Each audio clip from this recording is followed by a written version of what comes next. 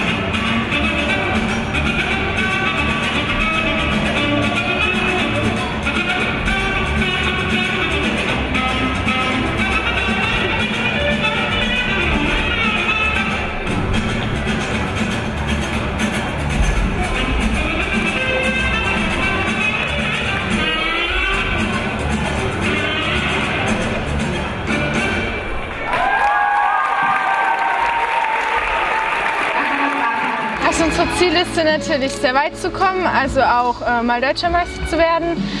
Und für die Wettkämpfe wünschen wir uns einfach, ähm, dass die Elemente klappen und äh, die Sprungelemente.